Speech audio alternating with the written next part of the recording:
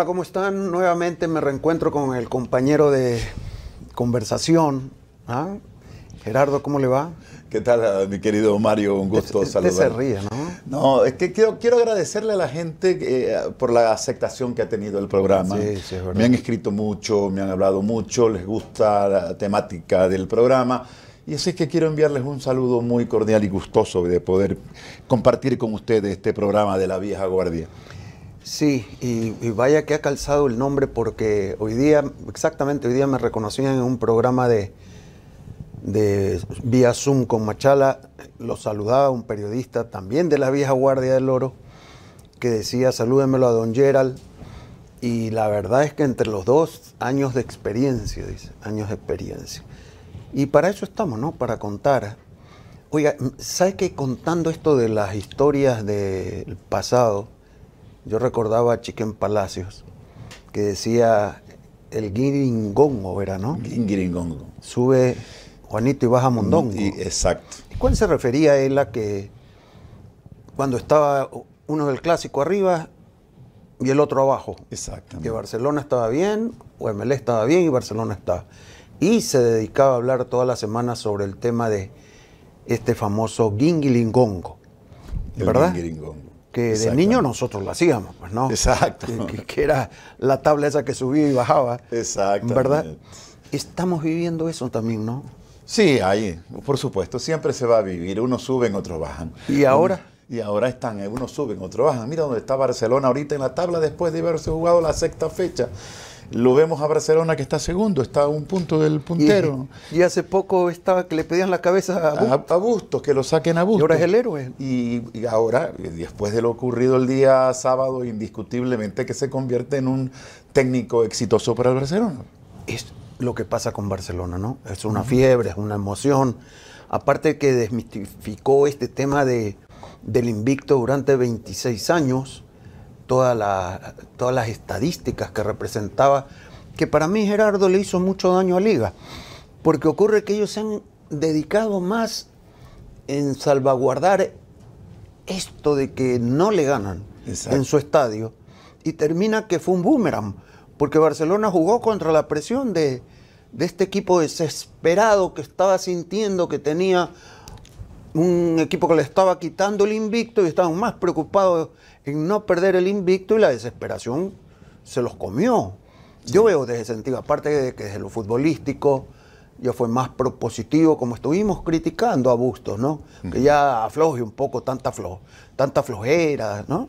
Claro, Eh, eh, eh, finalmente se, se liberan los dos, ¿no? Se libera Barcelona que ya ganó ahí, ya se olvidó el tema, y también la propia liga porque también estaba presionado a no dejarse ganar y mantener su invicto. Se liberan los dos, eso, eso creo que es eh, básico en esto. Y lo de Bustos hizo lo que le estábamos pidiendo que haga. Por favor. Sí, y, y jugó de esa manera, puso los jugadores que tenía que poner en la cancha y, fue, y se notó pues que hubo una actitud diferente. Yo hice una encuesta eh, en, eh, solicitando a ver quién es el héroe del partido. Titi Ortiz, que metió ese centro de lanzamiento de esquina para que aparezca el gol de Barcelona, o Burray. Y Burray salió al 98%. ¿Y hay duda? ¿Hay duda? No, no, pero yo la puse para, para ver la relación y la, cómo captaba la gente la- el tema y lo capta perfectamente bien. El ídolo, el, el- el héroe fue Sí, Burray. sí, no hay duda. Se convirtió en la figura como ha venido convirtiéndose en los últimos meses. Tanto así que hay muchos aficionados que lo califican como el mejor arquero de todas las épocas. Y yo les digo que están muy equivocados, pero muy ¿Hay exageración? equivocados. Exageración. Hay mucho escepticismo del momento por el momento, Claro. pero Burray no, no, eh, pero Burray le ha hecho muchas cosas bien a Barcelona. No, nadie hay, no hay que dudar, Gerardo, pero hay que dejar pasar el tiempo. Porque ocurre que en- eh, eh, eh, está acumulando algunas cosas. Una gran performance técnica, una gran personalidad, está acumulando títulos, poco a poco. Pero el tiempo va a ser juzgar, está en plena actividad. Uno no sabe qué pueda pasar de un año acá. Cuando ya tenemos arqueros a los que sí los podemos juzgar en la historia. Ya. Por ejemplo, le pongo nombres. Ansaldo, Pablo Ansaldo. el gato Ansaldo, el Iño. Al- Le pongo Carlos Alayón. Luis Morales, Alayón, José Francisco Ceballos. Oiga, ahí hay nombres que han guardado calidad técnica, reconocimiento populares, que hicieron historia, que fueron importantes para el fútbol ecuatoriano, para el crecimiento, reconocidos popularmente, que no se puede borrar la historia porque Urray ha hecho cuatro cinco partidos o diez partidos bien. Claro, no, es, correcto, pero tenemos que entender a la gente también de la actualidad que ellos hablan en el sentido de lo que han visto, de lo que ven, de lo que están disfrutando. Eh, quizás esta gente, mucha gente no vio lo que hizo el niño, eh, mucha gente no vio lo que pudo haber hecho Carlos oh, Luis Morales. Entonces se detienen ahí en la actualidad y dicen, esto es lo mejor. Claro, porque ese es el precio de las generaciones, de las etapas, de las épocas. Pero a nosotros nos corresponde otra cosa, retrotraernos Claro. a los que nos permitió la vida ver, porque de los que yo le he nombrado, vi a todos, vi a todos. Inclusive vi al flaco Bonar, que también tapó en Barcelona, que es reconocido como uno de los mejores arqueros de la historia, no digo el mejor, porque fue el mejor eh, arquero del sudamericano con un, un paraguayo de Lima, del 57, si no me equivoco. Y era un monstruo. Claro que cuando llegó al Barcelona ya estaba eh, en, De- de- declive, en su, declive su en- en carrera. declive su carrera. Pero de ahí lo vi a Ansaldo. Y, y vi a todos los que he podido. eh, usted se acuerda de Sankovic, de Foyú, Claro, claro. de Montoya, el pastor Montoya. Eran arqueros, buenos arqueros. ¿Cómo pasan al corazón del pueblo? Por lo que han conquistado, Por lo que porque. Fueron llevados en hombros cuando ganaron títulos, ¿verdad? Pero no podemos discutir de que Burray se convierte, ingresa a la lista de los grandes arqueros del Barcelona. sí. Le ha dado un título porque yo creo que le dio el título allá en Casablanca, le dio el título tapándole el penal al colombiano Martínez Borja, ¿se acuerda? señor. Que le dio que le dio el título a Barcelona porque le tapó el penal. Hay mucha gente que me molesta porque eh, no, o sea, no lo entienden correctamente. Una cosa es eh, un, penal errado cuando lo pega en el palo, cuando eh, sale del arco, pero cuando el arquero lo tapa, es, otra, dimensión. Y ese, ese penal lo tapó este Burray. Entonces le decía, le da un título, un título le da prácticamente Burray. Y le quita este peso tan grande de encima ahora de que no podía ganar el equipo del Barcelona en el Atahualpa. Aunque Barcelona tuvo muchas oportunidades para poder romper eso hace mucho tiempo atrás y no lo logró hacer, fallaron penales, ya a los últimos minutos se dejaban empatar y, y- hubo así, pero hasta que llegó el momento. Llegó el momento y ahora ya podemos decir que puede descansar tranquilo Barcelona. Pero también le digo una cosa, Barcelona fue perjudicado muchas veces. Ah, también. Por Es que hay que supuesto. hablar franco, eso es lo que a veces no se atreven a decir. Mire, Barcelona ha jugado en Quito mejor, mucho mejor que el día sábado. Y estuvo muy cerca de ganar y no pudo ganar. Por razones. Ah, que me dicen que son mentiras, que pretextos, que ahora meten este, excusas. Árbitros perjudicaron a Barcelona para no ganar en Quito. No había vara, no había VAR, y eso significó muchas ventajas que sacaron de local, porque los árbitros, cuando no había VAR y entraban a estos monstruos de estadio que rugían cuando jugaban estos clásicos o estos partidos importantes como es el de Liga Barcelona, también se les chorreaban los pantalones a los árbitros. ¿Qué creen? Y entonces ahora están respaldados con el VAR. Es otra manera de ver el fútbol, ¿no es verdad? Antes estaban desprovistos de todo. A los camerinos le entraban a meterle palo. Uno recuerda a los dirigentes Claro. que se metían a la cancha a meter el puñete. ¿Se acuerdan? También hubo una gresca muy fuerte Ah. ahí, ahí en, ese mismo ¿Y qué estadio. presión puede haber tenido el árbitro? Si yo recuerdo que Alias Gómez entró un mangajo y le metió un puñete y lo tiró al suelo. Al césped. ¿Se acuerda usted? Claro, eso fue contra, contra Nacional, si, no y, y, entonces así se jugaba antes.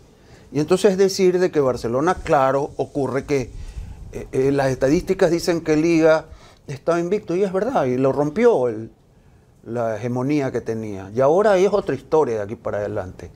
Y Barcelona tendrá que ir a hacer el papel de protagonista en cualquier estadio, que era una de las cosas que le exigíamos al señor Busto. Déjese de ser tan temeroso, proponga, que los va a poner preocupado. El técnico rival va a decir, mira, me puso cuatro jugadores que manejan bien la pelota. Sousa.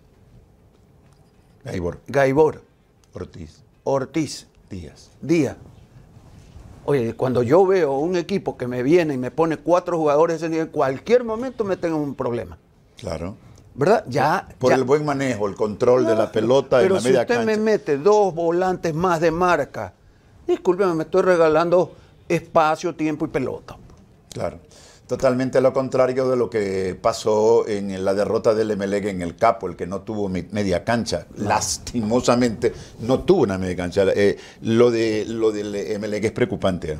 Perdóneme que me pase de, de coles a nabo. hable, hable. Oiga, pero es que eh, es preocupante porque veo que la plantilla de este equipo del Emelec le va, está quedando muy corta en relación a jugadores, los jugadores más importantes del club se le han lesionado. Hablo de Miller Bolaño, hablo del venezolano Sosa, y definitivamente lo requieren eh, inmediatamente, porque en esa media cancha, Alberti ni Villalba no cumplen para nada, ni marcan, ni crean, ni entregan bien la pelota. Y ahí está fracasando el Emelec. Pero hay algo más, Gerardo, y hay que decirlo. La transición entre el régimen Neme y el régimen del señor Pileggi ha creado una crisis, un impacto. Los modelos que manejaba cada uno son diversos. Los jugadores les encanta este, ciertos modelos, acostumbrados a ciertos modelos. Le doy un ejemplo. ¿Usted la disciplina? Fundamental, fundamentalmente disciplina. Disciplina, cumplimientos, relaciones públicas, eh, control de la amistad, de la cercanía, le doy un ejemplo. Luis Chiriboga en la selección. Se fue Chiriboga por los motivos que usted ya lo conoce. ¿Y qué reclamaron los jugadores? Cariño, comprensión y qué? Amor, comprensión y ternura. ¿Sí o no? Hasta hablaron del jugo de naranja, que le daban más, menos jugo de naranja, que los pan de yuca. Eran menos engreídos. Que, que, le están pidiendo facturas, que le al jugador le gusta que lo mimen y parecería que Neme los tenía así. ¿Qué quiere el jugador? Dele. Eh, ¿Dónde quiere irse el jugador en primera categoría? Dele. ¿Y ¿A qué hora quieren regresar, señor? Dele. Y entonces ocurre que han cambiado de un estatus a otro. Y no están contentos con la dirigencia. Eso se da cuenta. A Neme le paraban el, el equipo? No, nunca, ah. nunca, nunca. Esto comenzó mal, acuérdese, cuando eh, Pilegui invita a un almuerzo a los jugadores y no le fueron. Claro. Ahí comenzó todo y después le pararon un entrenamiento que no entrenaban supuestamente solidarios con Dixon Arroyo. ¿Dónde está Dixon ahorita jugando en Miami? Está, todo listo. Le quiero preguntar una cosa, para que vea la debilidad del sistema de Melec, que, que se repercute en el rendimiento de los jugadores. Porque ya le voy a contar una anécdota de lo que sucedió ayer en el Estadio Capo. Mire, cuando usted ve a su amigo Claire Fajardo, lo llaman, y le dicen, Clever, ¿quieres encargarte de el asesoramiento, asistencia? Yo que sé qué cargo inventaron por ahí, técnico, ¿verdad? Todos aplaudimos. Tiene un hombre de carrera que sabe del tema, que va a tener el vínculo, que no sé cuánto. Pero también es una debilidad de la dirigencia, que se ha dado cuenta que el peor error era haber encarado los problemas ellos mismos sentaditos con todos los jugadores. Entonces buscaron un intermediario. Pero el tema es que está desgastado ya el asunto. Claire puede hacer todo el esfuerzo, pero está desgastado. Mire, la segunda anécdota. Y ahí me dice usted qué piensa. El, el señor técnico del Emelec estaba en la línea y decía, ¿qué pasa que no están jugando como entrenamos? Una. No tiren la pelota, jueguen al ras de piso. ¿Qué quiere decir eso, Gerardo? Que no le están cumpliendo los jugadores lo que el técnico está diciendo. Porque se escuchó claramente que el técnico dijo, eh, eh, no estamos jugando como entrenamos. Lo dijo claramente ahí en el partido eh, con Nacional. Lo dijo claramente. Y, realmente que, o sea, no le están haciendo caso. Ahí está. No le están haciendo caso. Ahí está el dedo en la llaga. ¿Por qué? Porque no están a gusto los jugadores. Claro, pues. Claro, pues. Pero aparte de ahí Rondelli comete unos errores terribles. Oye, yo prefiero tenerlo al demonio y a José Francisco Ceballos que poner a esos chiquitines que puso. Por Dios, era entregar el partido. Terminó jugando con los delanteros como Whitley, como Chamba. Esos son los delanteros. así terminó jugando el MLE. No, entonces también hablamos de plantilla. O sea, hablamos de plantilla, que tampoco la plantilla está, está acorde y que las contrataciones que hicieron Veo muchos jugadores eh, este, extranjeros que ni siquiera aparecen en la nómina, Mario. Malos. ¿Ah? Eh, pero claro, porque malos. deben ser malos que el técnico ni siquiera los considera para llevarlo a la banca. Hay un colombiano que estaba pasando por los malls. Agrón, ¿cómo, se, llama? Agrón creo que es. ¿Qué es? Agrón es. Pero dígame una cosa. ¿Y, quién es la culpa? ¿Agrón? No, ¿quién lo contrata? ¿Y, ¿Quién lo trae? ¿Y, y Caín?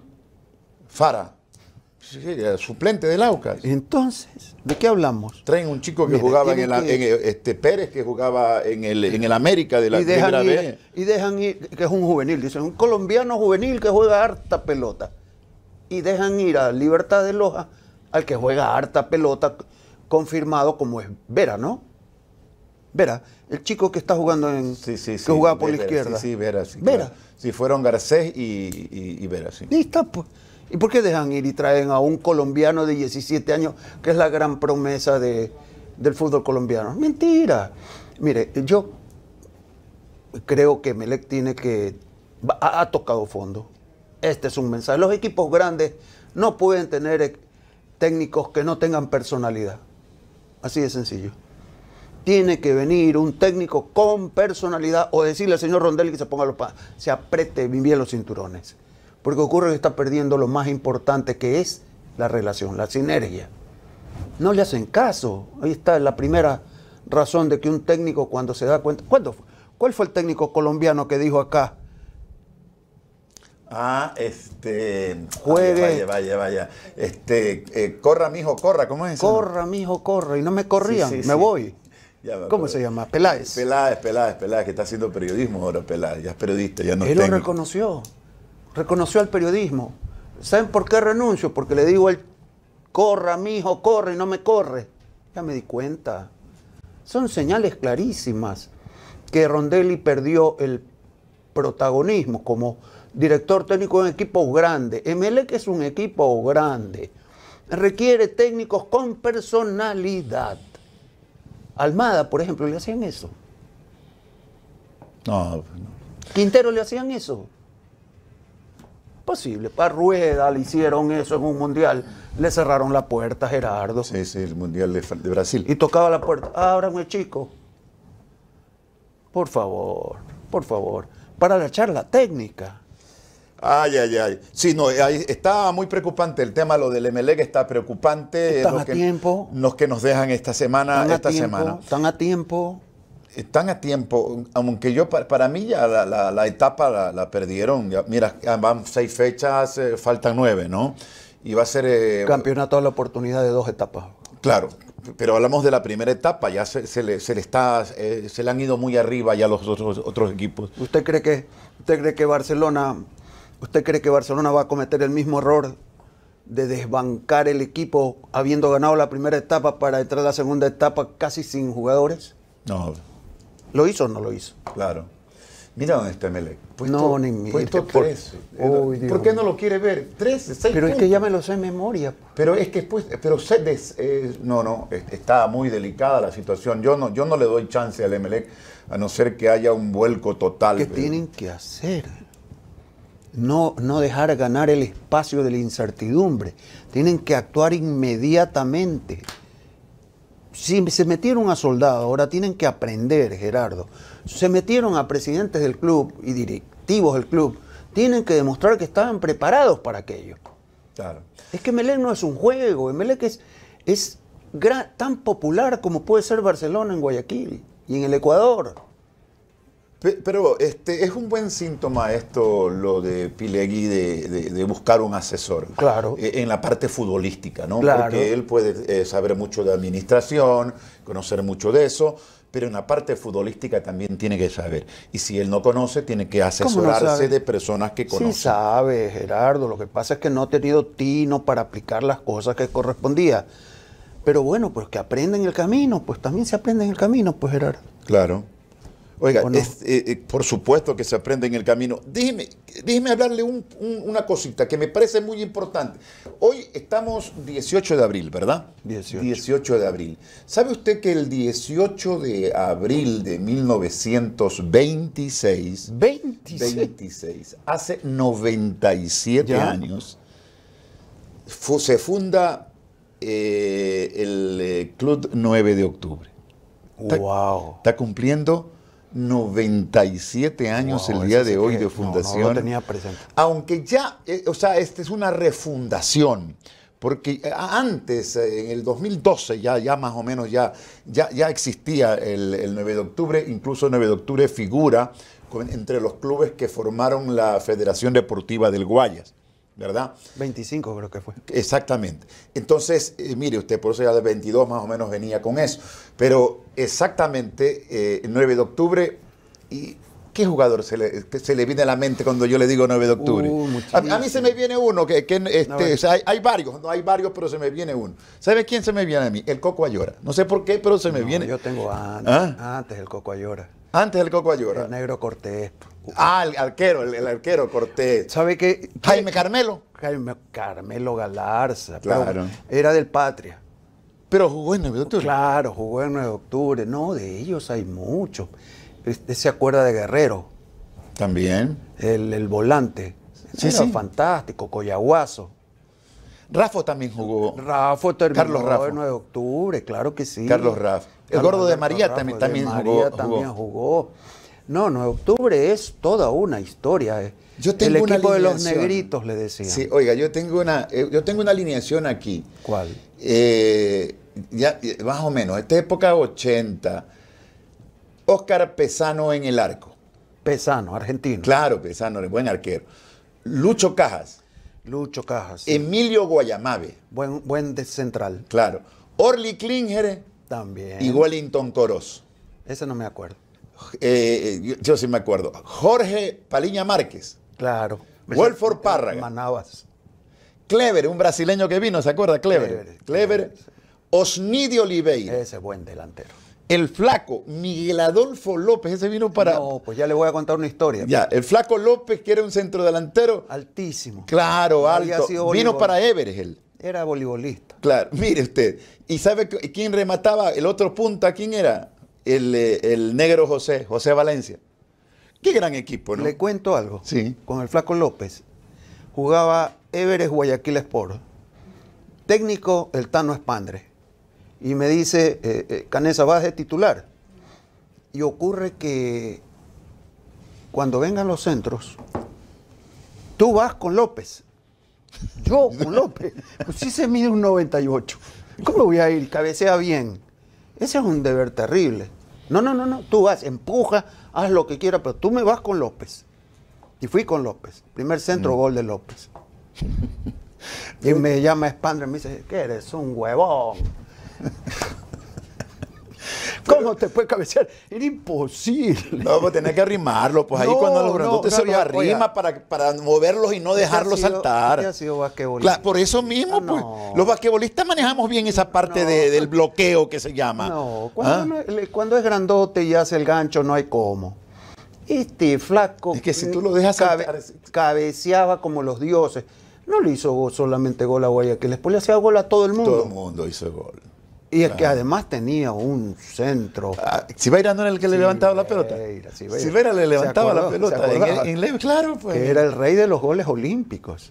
Sí, Sibeira. Sibeira. Una Gran jugador, en el Gran jugador. En ese tiempo venían grandes jugadores acá. Llenaban los estadios. Claro. Oiga, otra cosa que creo que este, quería este, eh, recordar el día de hoy. Estaba chequeando algo que me parece muy importante. De recordar a un gran periodista como Manolo Mestanza Uh, Pacheco. sí. Manolo tiene, a- a- tuvo una característica que estaba chequeando, viendo su historia y toda la cuestión. Eh, ¿Usted se acuerda de la época de los corresponsales? Que ya ahora casi ya no hay los corresponsales, Sí, sí me acuerdo. ¿verdad? Los corresponsales. Manolo fue corresponsal de. Mire esa figura, mire, mire ese, ese Sí, par- ese- con- ese con Arístides Castro ahí. Y ahí, mire, Vea, cantidad de, fi- no, de figuras, ¿no? Está. Manolito con Pepe Murillo. ¿Sabe quién está ahí? Uno de los mejores narradores de. Alfonso Chiriboga. ¿quién? Está Alfonso. ¿Y sabe quién? Ecuador Martínez está ahí. Está claro, en Ecuador está al lado de Alfonso. Ecuador Martínez. Qué foto, ¿no? Pepe Ah. Murillo. Entre los. Manuel Kuhn. Sí. Eh, No es el rey de la cantera el que está atrás. No. ¿No? No, no, no. es Me el rey. parece. No, es Mario Viteri el que Mario está Viteri. eh, entre, foto, Pepe está. y Manuel. Y al lado, Ricardo Chacón, al lado de Manolo Mestanza, instituciones del periodismo. Chiquen Palacio.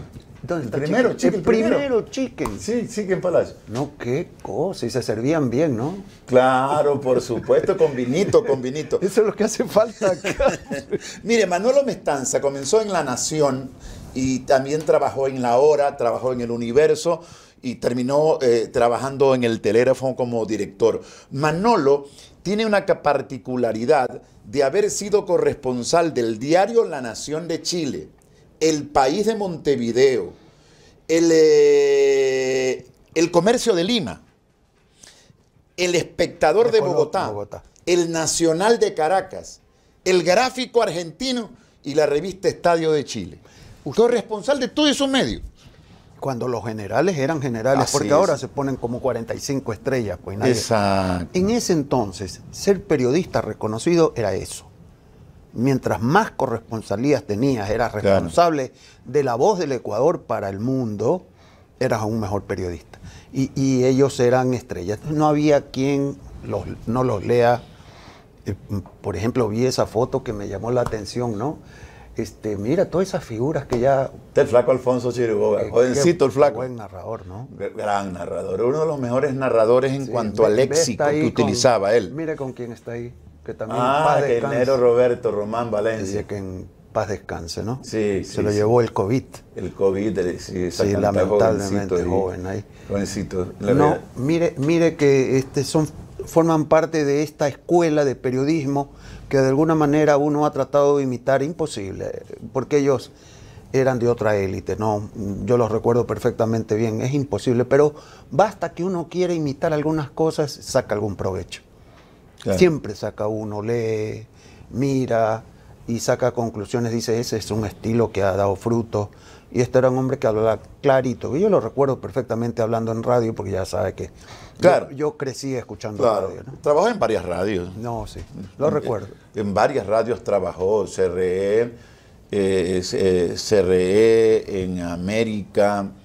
eh, ¿Qué otra radio trabajó? Atalaya, por supuesto, eh, que hacía el programa con Aristides, eh, Atalaya Deportiva. Y también lo hacía con otro gran amigo nuestro, el doctor Carlos Espinosa Miranda. ¿Se acuerdan? no, Carlitos pues, Espinosa tenía Miranda, el doctor. voz- Oiga, y, y era un gran comentarista de tenis, ¿sí sabe? Sí, sí. Claro, pues yo, yo lo escuchaba también en tenis. Gran, gran comentarista de tenis. Qué no, qué bien que haya traído todos esos nombres. Oiga, me- se, se le ha pasado algo, porque eh, hablamos de arquero, pero no me dijo nunca cuál era su favorito en la historia del Barcelona. No me diga que ya Borray lo convenció.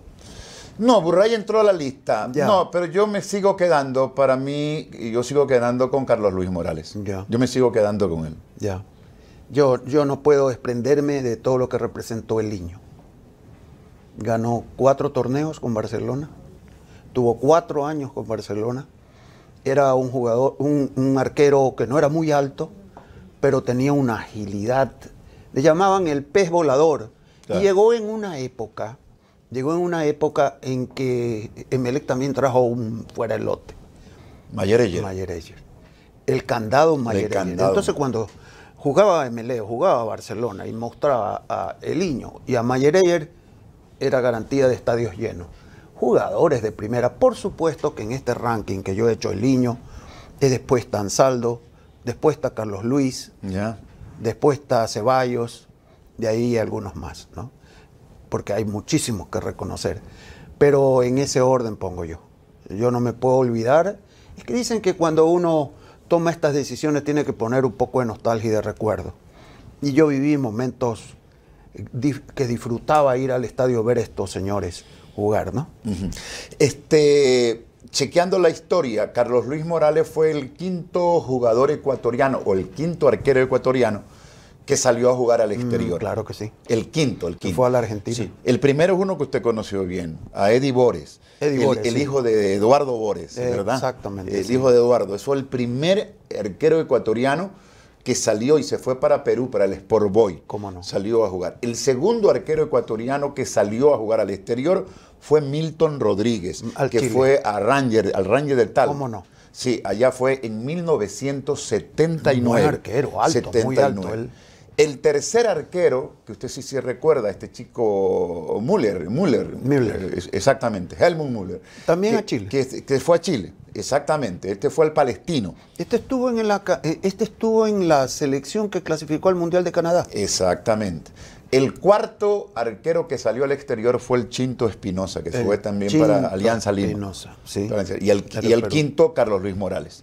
De los arqueros, ahí salieron más. Ah, claro, eh, claro. Salieron más, eh, salió eh, hasta el mismo Walter Rolando Guerrero se fue. Es, es- es alguien que, que tenía una gran figura, que era un gran arquero, pero que Morales se encargó de, Tapalo. de taparlo. Tapar. Porque crecieron juntos. Claro, exactamente. Sí, crecieron juntos. Era, era más o menos como en la época de Aragón y Viteri. Sí. ¿Se acuerdan, no? Sí. Muy parejitos los dos, muy parejos los dos, y ahí estaban, pero acá sí, eh, este, Carlos Luis le sacó una diferencia a Walter Rolando. Ciérreme el capítulo con la selección juvenil. A buena hora, solamente quiero decir una cosa, que esto es producto del trabajo que hacen los clubes, que no es un trabajo de la Federación Ecuatoriana, que es un trabajo que no se quieran robar la película y arrebatándole el mérito que Usted no tiene- quiere dar ningún mérito. No, no, el mérito que tienen los Pero- clubes, que pero- son los que hacen los pero jugadores. cuando, era, pero cuando era Chiriboga decía que era Chiriboga. No, no, no, no. ¿Y cómo no lo entiendo no, yo? no, no. Es que ¿Ah? no, no, es que es la realidad. Es verdad, estamos clasificados para dos campeonatos, Pero eh, el- la sub-20 y la sub-17. Hacen su tarea, hacen su labor, Ah, bueno. hacen su labor. Pero los méritos son de los clubes que están trabajando, como Independiente, como Liga de Quito, como Orense, que está y están trabajando bien. Y eso es bueno para el fútbol ecuatoriano, que nos pone en dos categorías menores, sub-17, sub-20, en este año 2023, en dos campeonatos mundiales. Sí, señor. Y hay que reconocer porque esto no es producto del azar. se está haciendo bien las cosas, pues se están haciendo. Es verdad que los clubes son los que hacen el mayor esfuerzo, pero hay dirigencia, hay que reconocer, más o menos. Por supuesto que en este momento los méritos se llevan los jugadores, porque ellos son los que van a saber aprovechar o no las oportunidades que le da el fútbol. Ahí hay dos, tres jugadores muy destacados, pero lo que vayan a hacer en el futuro ya es cuestión de ellos. Ya Sí. es cuestión de ellos, ¿no? Aplaudimos por el momento la clasificación. Imagínense, faltan dos fechas y ya está clasificado. está clasificado En un mundial, Mundial. que no hay sede. Que no tiene sede todavía, es para el mes de noviembre, diciembre de este, este año, pero era Perú, y a Perú este, renunció a la sede y FIFA está buscando quién se haga cargo. Y puede quedar campeón sudamericano. Claro, todavía tiene chance Y de tiene poder. chance. Claro. ¿Usted no se, le, no se le ocurre que podrían hacer el Mundial Sub-17 aquí en Ecuador? ¿Quiere No, que le no, diga- no, no, no lo puede candidatizar usted Este. ¿quiere, quiere que le diga que yo hablé con un miembro alto del gobierno y le dije, aprovechen esta oportunidad si es noviembre. Hoy tenemos un dolor de cabeza más importante. Bueno, pero quítense el dolor de cabeza. así que Distraigan a la gente. Y, y, y denle también una distracción, hacerle un mundial. Yo no descarto que se pueda hacer acá. Lo que pasa es que en este momento estamos viviendo tan convulsionados durante todo el año que es difícil poner cabeza en... Si casi perdemos un bolivariano. Yo creo que lo vamos a perder. No, parece ser que llegaron ya a acuerdo, ya que se, Ah. se limaron asperezas, supuestamente, lo que dijeron, se limaron asperezas y que ya están trabajando en conjunto para poder hacer eh, este, Yo- el- los bolivarianos. Ya, ya nos vamos a tener que despedir. ¿Verdad? Se me hizo cortísimo esto. ¿Ya terminó? Ya, pues ya, pues ya se me quedó muchas cosas. Pero quiero invitarlo a esto. Mire, yo he traído un libro que también este, plasma, al- quita esas ideas ahí medias raras. Se llama así, mire. Léalo usted mismo. Juan José Saber, Comediantes y Mártires, ensayo Sí, contra los mitos. ¿Quién está aquí? Maradona, Evita. Evita Perón, el Che y el, el tanguero este, Carlitos Gardel. Carlos Gardel. De todos estos, hay unos que son comediantes y también hay mártires. Se lo contamos la próxima semana. Está bien, está bien. Está interesante, parece ser el tema del libro. Ya lo vamos a considerar. Lo hablamos. Sí, perfecto. Muy bien. Muchas Porque- gracias. Porque hay que, hay que aclarar la historia. Tiene un premio este libro, porque canta las verdades, como tratamos de hacerlo nosotros también aquí. Exactamente. Y ya Va. nos tenemos que despedir. Hablando del presente sin olvidarnos del pasado. Ya Aquí, está. en la vieja guardia. En la vieja guardia con Gerardo España hemos terminado este programa, espero que le haya agradado. Nosotros regresamos la próxima semana. Muchas gracias.